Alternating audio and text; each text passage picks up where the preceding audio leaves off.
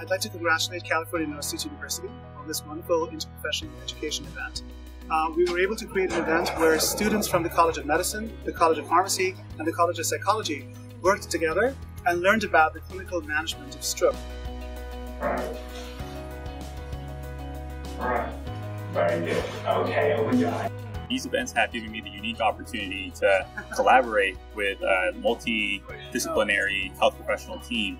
Uh, it's given me an appreciation for what other members of this team does, uh, you know, the extensive training and knowledge that they have.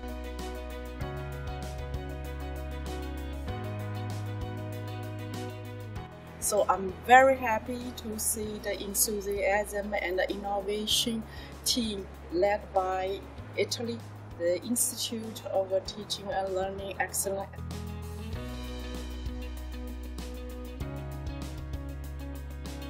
Um, I thought it was really nice to get the perspective of the pharmacy students and see, you know, how dosing would work, work with regards to drugs and how the cost works with regards to, you know, giving TPA um, in a stroke incident.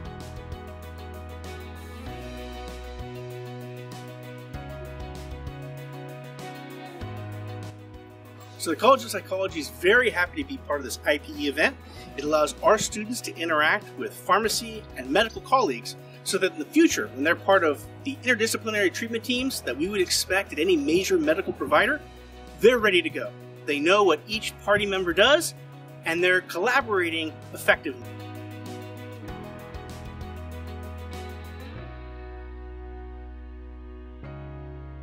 working in this IP event has been a little bit challenging, but also really interesting because um, a lot of people, I guess, don't know what the role of psychologists is in this type of event, like working with a stroke patient. And so it's really interesting to work with multiple domains and understand the role of each domain.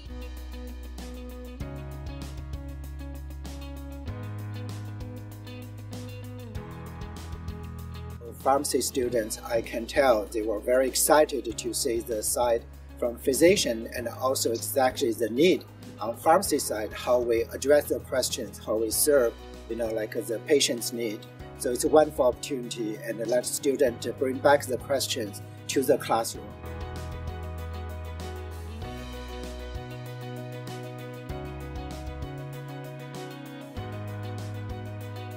I felt this was really good because it gives us an opportunity to work as an interdisciplinary team uh, in real life we're not just going to be sitting there looking at PowerPoints, uh, you know, with our fellow College of Medicine students. We're going to be interacting with people. I think it's great because it resembles what we're going to be doing in real life.